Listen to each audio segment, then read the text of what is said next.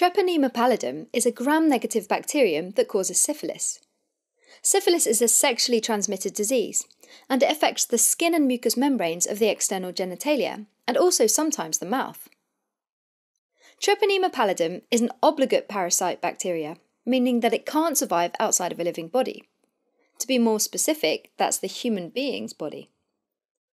They belong to a group of bacteria called spirochetes, which are long and thin and contain endoflagella, which is a band of protein filaments that coil within the spirochetes and give them a spirally shape, kind of like a curly fry, but less appetising. The endoflagella also help the spirochetes to move around by spinning or twisting. It's a bit like a drill that's slowly boring into a piece of wood. People that have syphilis can transmit the disease in one of two ways. The first way is called acquired syphilis, and it's when Treponema pallidum enters the body through body fluids. That can happen when there are tiny cuts or breaks in the skin or mucous membranes of the external genitalia or the mouth when there's sexual contact, including oral, anal, and vaginal sex. It can also happen when people share contaminated needles, or when they have direct contact with the skin lesion of an infected person, because the lesion is covered in this fluid which is rich in spirochetes. The second way is called congenital syphilis, and it's when a mother has syphilis and Treponema pallidum infects the baby, either in the uterus or while the baby exits through the vagina at birth. In acquired syphilis, there are three stages to the infection. The first stage is called primary syphilis, or the early localized stage, and it usually starts one to three weeks after the T. pallidum lands on the skin or mucous membrane. During this stage, the spirochetes destroy the soft tissue in the skin wherever they enter the body, and that results in the formation of ulcers called syphilitic chancres. A syphilitic chancre is actually painless, and you can remember that by dropping in a U to make it chancure, like you're cured of the pain, if you know what I mean. These chancres have a hard base, raised borders, and are usually covered in a fluid rich in spirochetes, and this can spread to other parts of the body as well as other individuals. In individuals who acquire syphilis through sexual contact, the primary chancre develops around the external genitalia. However, for individuals that acquire syphilis by physically touching the lesion or in some other way, the primary chancre might appear on the hands or some other part of the body. Syphilitic chancres typically heal on their own over a few months, but during that time, some spirochetes go to nearby lymph nodes where they cause lymphadenopathy, which is lymph node enlargement. And then they get into the lymph and finally into the bloodstream. If syphilis is acquired through something like a blood transfusion, then there may not be an early localized stage at all and no primary chancre. The second stage is secondary syphilis, or the dissemination stage, and it occurs about 6 to 12 weeks after the infection. During this stage, spirochetes enter the bloodstream, which is called spirochetemia, and this causes generalized lymphadenopathy, which is when spirochetes can be found in lymph nodes throughout the body. The spirochetes like to attach to and infect endothelial cells in small capillaries near the skin. This causes non itchy maculopapular rash, which are small bumps that are either flat or raised. The rash starts on the trunk and then spreads out to the arms and legs, and eventually to the palms, soles, genitalia, and other mucous membranes. These rashes can sometimes be pustular, which means they're filled with a white fluid, pus, or they can be papulosquamous, which is when they're scaly and hard. In addition, there can be something called condyloma lata, which are smooth, white, painless, wart like lesions, and they appear in moist areas like genitals, around the anal region, and the armpits. So these various rashes can erupt all over the body, and the lesions are chock a block full of spirochetes, which makes secondary syphilis the most infectious stage. The rashes from secondary syphilis usually resolve within a few weeks to months. Then, after secondary syphilis is a latent phase called latent syphilis. This is when the disease enters a dormant or asymptomatic phase. During this phase, the spirochetes can mostly be found in the tiny capillaries of various body organs and tissues. Latent syphilis can be further divided into an early phase and a late phase. Early latent syphilis occurs within a year of infection, and during that time, the spirochetes can re enter the blood. So, this means that during early latent syphilis, they can still be found circulating in large numbers in the blood, causing symptoms of secondary syphilis. However, the late latent phase is generally after a year, and that's because the spirochetes generally stay within the tiny capillaries of various body organs and tissues. As it turns out, there are actually only very few spirochetes which are found in the capillaries of tissues and organs. But there is a severe immune response, so severe that it causes a tremendous amount of damage to the cells there. And that triggers the next stage, which is tertiary syphilis. In tertiary syphilis, there's a type 4 hypersensitivity reaction, which means that there's an immune response that's mainly led by T cells, and they recruit phagocytes, like macrophages, and cause the release of pro inflammatory cytokines, such as tumour necrosis factor, interleukin 1, and interleukin 6. All of this leads to local swelling, or edema, as well as redness, warmth, and systemic symptoms like a fever. T. pallidum has three main antigens.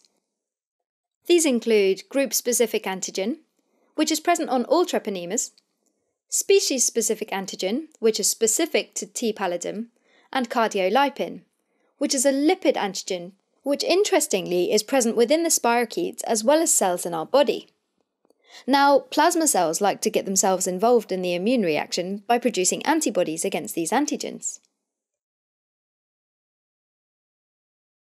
In some cases, the immune cells start to huddle around and form a granulomatous lesion called a gumma, and this has lots of different types of immune cells that get surrounded by an outermost layer of fibroblasts. Often, funnily enough, there aren't any spirochetes at all in these lesions, it's just like the immune cells are getting overexcited and huddling up for no obvious reason. The tissue at the centre of the gumma often ends up without oxygen, and that can lead to coagulative necrosis. In tertiary syphilis, various organs get damaged, like the heart and blood vessels, called cardiovascular syphilis, the brain and spinal cord, called neurosyphilis, and also the liver, joints, and testes, which haven't actually earned their own special names yet.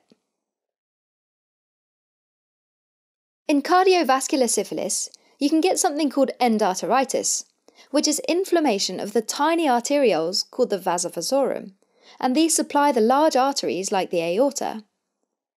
The result is that parts of the aorta are damaged, and you can get something called aortitis, or inflammation of the aorta, and this can cause aortic aneurysms. In neurosyphilis, the spirochetes set up camp in the capillaries supplying the posterior, or back, of the spinal cord, and this can result in something called tabes dorsalis, which literally translates as wasting or loss of the back of the spinal cord. The protective sheath which covers the nerves running along the back of the spinal cord is damaged, and this results in a loss of vibration sensation and a loss of proprioception, which is the sense of the position of the joints and other body parts, like the hands and foot. So that's what happens when syphilis damages the posterior spinal cord. But sometimes the spirochetes invade the capillaries supplying the anterior or front of the spinal cord, and that results in general paresis, which causes loss of sensation and weakness, and sometimes even paralysis, mostly in the legs. If spirochetes get into the capillaries serving the brain, then that can cause slurred speech, altered behaviour, memory loss, difficulty coordinating muscle movements, and even paralysis. Syphilis can also affect the eye, causing something called Argyll Robertson pupil, which is when the pupil loses its light reflex. But it does still have its accommodation reflex, which means that the pupil constricts when there's a nearby object. It just doesn't do anything when it's too light.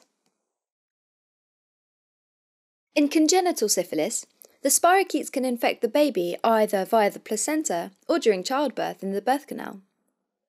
In early disease, which is in the first two years, the result can range from a baby being stillborn or dying within the womb, to having classic features like a macular papular rash on the palms and soles of the feet, and snuffles, which is when the nose is blocked by increased secretions, and these contain spirochetes. Babies may also have organ damage to the liver and spleen, causing hepatosplenomegaly, and damage to the eyes as well, like optic neuritis. In late disease, which is after a child is two years old, classic features often include a saddle nose, which is a bony destruction of the nose, sabre shins, which is when the tibia gets bent, Hutchinson teeth, which is when the teeth develop little notches, and hearing loss.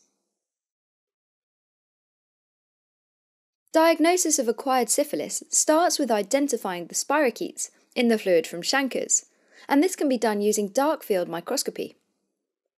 A dark field microscope shines thin slivers of light on a slide so that the background appears dark, while the extremely thin spirochetes light up.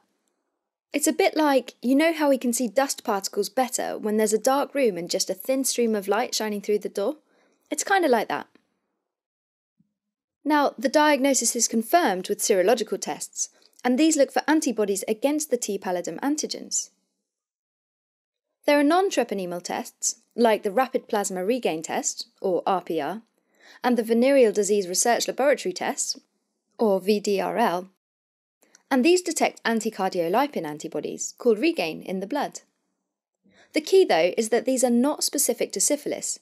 For example, cardiolipin is also released by damaged cells in our bodies.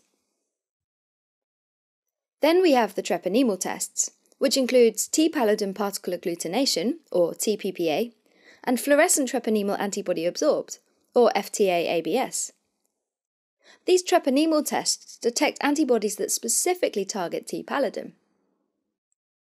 Diagnosing congenital syphilis, as you might imagine, is a bit different. In congenital syphilis, the diagnosis involves having a look at the mother's and baby's results in parallel.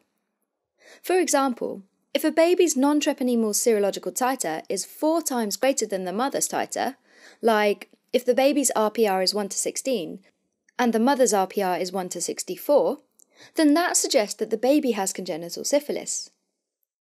In general, for any baby whose mother was inadequately treated for syphilis or is suspected of having congenital syphilis for a different reason, it's helpful to get CSF or cerebrospinal fluid for VDRL, as well as cell counts and protein. It's also helpful to perform long bone x rays as well as an eye exam and a hearing screen.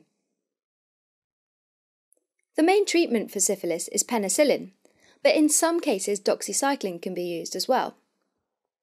When using penicillin, though, it's important to watch out for Jarisch-Herxheimer reaction, which is when spirochetes die and break open, releasing a lot of antigens all at once.